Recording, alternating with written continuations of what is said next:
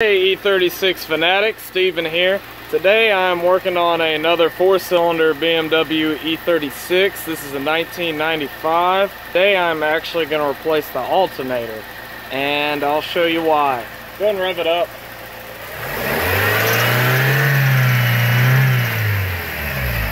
You hear that noise?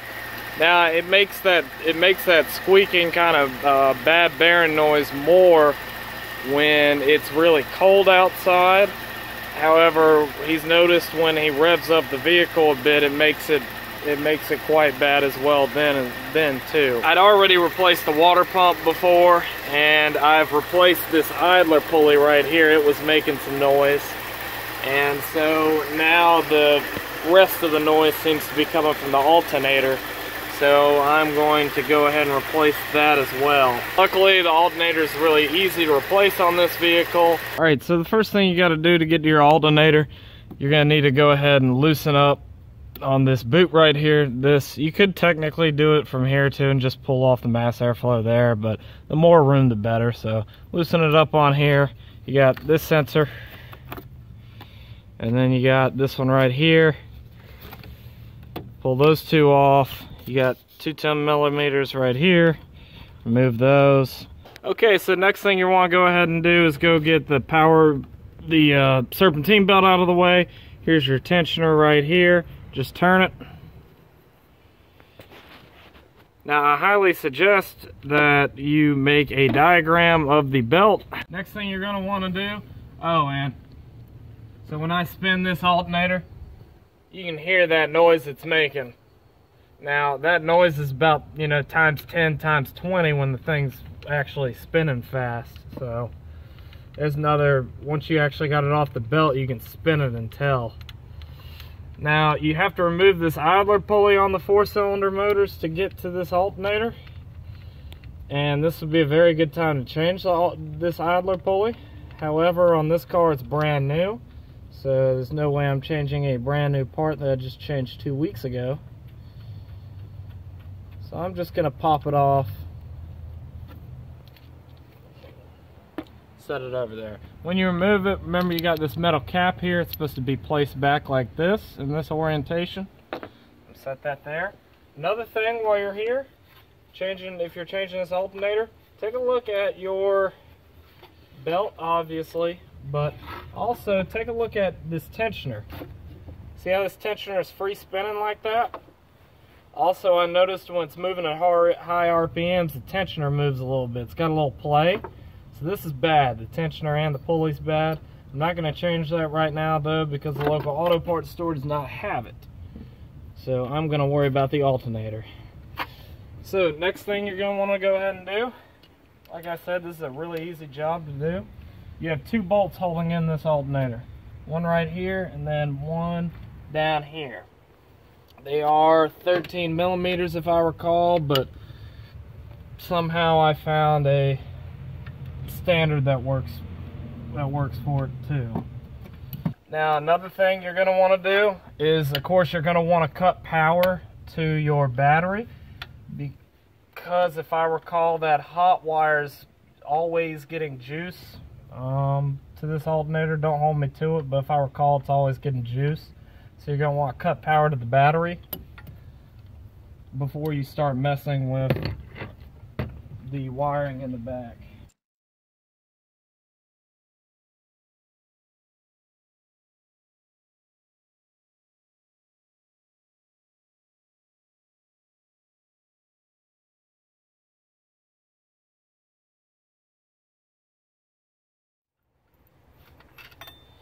Alright, that second one.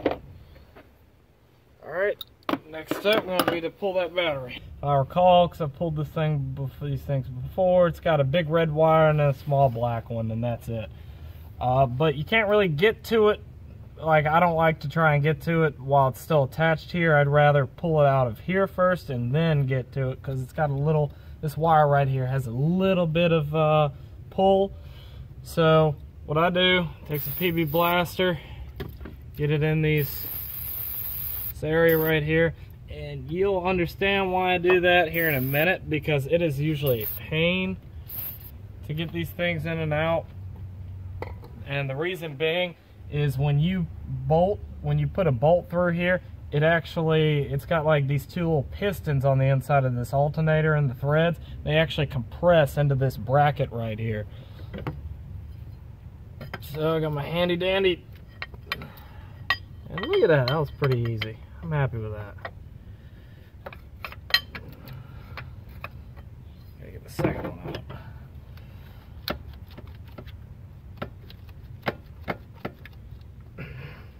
Oh, and there we go. All right. Next step is to get these two wires out. If I recall, one of them's a 13 and one of them's a 10. That's my that's what I'm betting.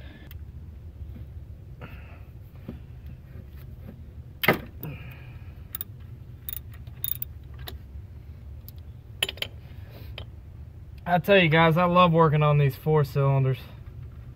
Everything's so easy on them for the most part. All right, now here's the alternator. It's all screwed up. I wonder where this popped off from. One of the studs popped out of the casing and I had to crack the plastic to even get it get the uh, nut off of the stud but you can see these two little stay still.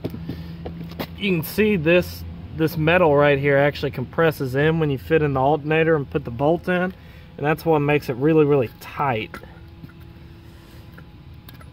So and there is my old used alternator ready to go. All right so got the new alternator from uh, I picked it up from O'Reilly's this thing's gonna go, cost you about 200 to 230 bucks probably. Might be able to get cheaper offline, or if you're like me and got an account with them, you might be able to get cheaper. So when you pick it up though, there's three options, at least for this vehicle there were, and alternators they put on these E36s. You're gonna want the one, if you have an idler pulley that blocks the way on the alternator, you're gonna wanna get the one that does that. It's got a second, uh, it's got a second space for a bolt because one of them doesn't come with these two bolts right here um, to put two bolts in. The other thing is, now the reason I'm changing this thing is because the bearing bearings inside are making a horrendous noise. But there are, of course, your alternator can just go bad, like your regulator can go bad, and then your alternator won't change your battery, charge your battery. Um, this car has about 140, 150,000 miles on it. So sometimes you can actually rebuild these things and change the bearings, but with the amount of miles on it, I, I figured it was best to go ahead and change the whole alternator since it was already going bad. so first thing you're want to do is get it wired up.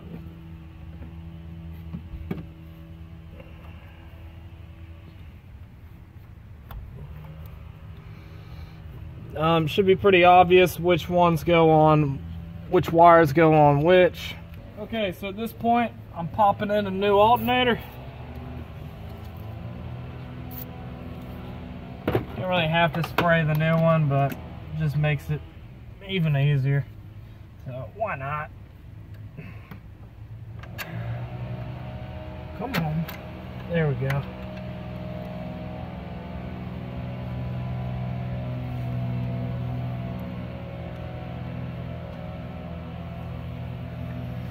Okay, so sometimes these things aren't as easy to put in as the new ones. Uh, this is a remanufactured unit, which can make it a little more of a pain.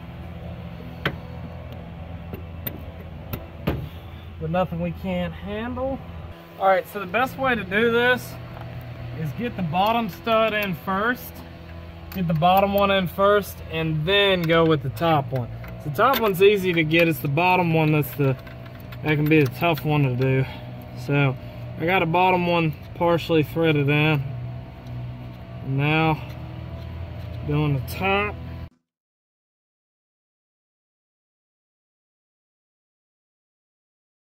Tighten those two bolts. There we go. And I already got these wires in the back. Make sure that cover's on in the back. Now you've got that idler pulley. If you remember what I told you, just keep it aligned like this and you won't have any trouble. If you want to go ahead and replace it, I would. They're pretty cheap. I'm gonna just pop that back on.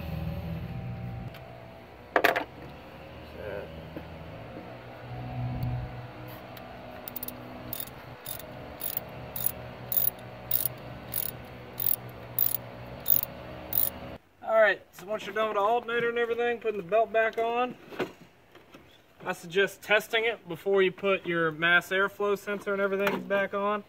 Don't worry, the car runs just fine without it. Well, I mean, it runs a little rough, but it runs.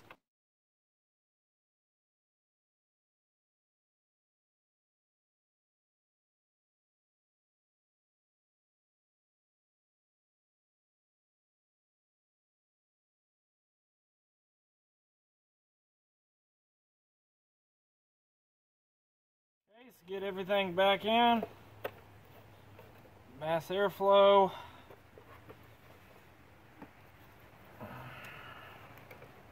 Cruise control. All right, hit it. Hit it.